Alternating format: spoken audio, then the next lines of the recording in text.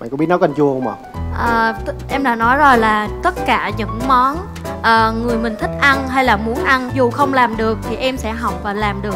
Phương có sợ côn trùng không? Thì em chỉ sợ rắn thôi. Bạn ờ, minh tuyền hay là bạn hồng sơn thích ăn lẩu rắn?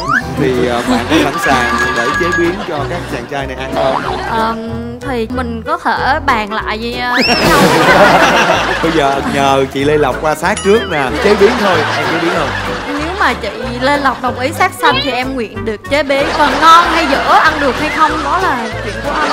Trời ơi vì tình yêu của em mà em gieo nghiệp cho chị quá. Vậy rồi lỡ ngon hay không thì đổ thừa tại công thức của thầy. Không của em. Tần số tình yêu mùa 2 21 giờ 35 thứ sáu hàng tuần trên kênh HTV7